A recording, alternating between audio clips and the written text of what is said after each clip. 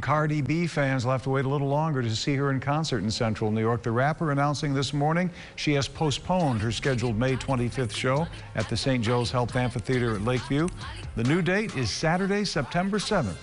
No word given as to why she had to change the dates. All tickets already purchased will be honored for the rescheduled date. For more information on that, go to localsyr.com. Still